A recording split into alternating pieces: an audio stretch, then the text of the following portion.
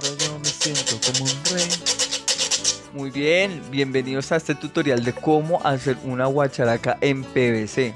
Estamos ya a corto tiempo de nuestro concierto sausista 2023 y los jóvenes de noveno tienen que hacer su guacharaca en PVC. Súper sencillo para trabajar. En este tutorial también les traje Ay, ya volví. En este tutorial también les traje cómo hacer un trinche, un trinche con pinchos, con palo de pinchos, para que de esta manera podamos nosotros empezar a raspar. Y que se sienta ese amor carranguero y ese homenaje a Jorge Velosa. Así que vamos a aprender.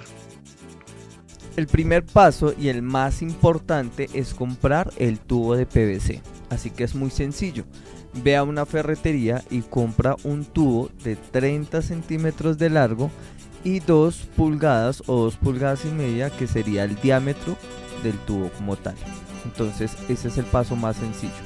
Yo por ejemplo fui a la ferretería y tan solo me costó mil pesos. Al mismo tiempo también necesitamos una cegueta y un pedacito de lija de un grosor delgadito puede ser un número 200 o 220.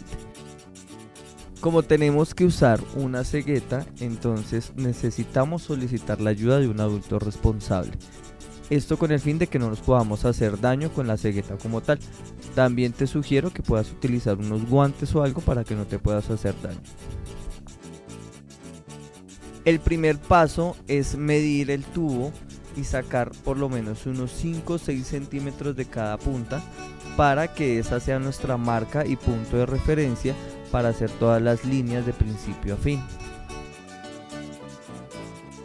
Cabe resaltar que el proceso es bastante largo y muy tedioso, así que debes tener mucha paciencia para hacer cada una de estas rayas.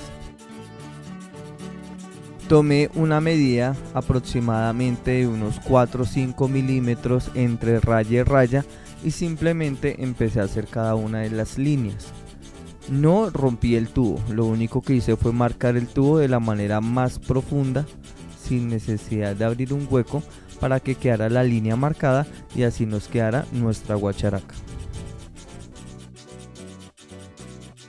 Para finalizar y probar el sonido de mi instrumento utilicé un trinche de una guacharaca normal, el cual resultó de la manera más adecuada.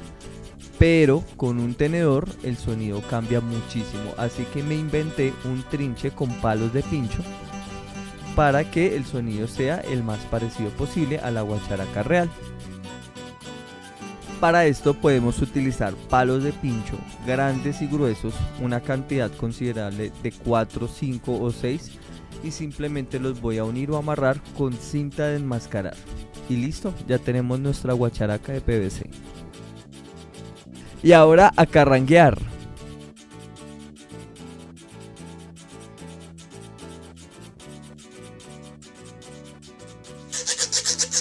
Y con esto ya hemos terminado, ya tenemos nuestra guacharaca en PVC, listo nuestro accesorio para el concierto sausista. ¿Y qué esperas para hacer el tuyo? Chao, chao.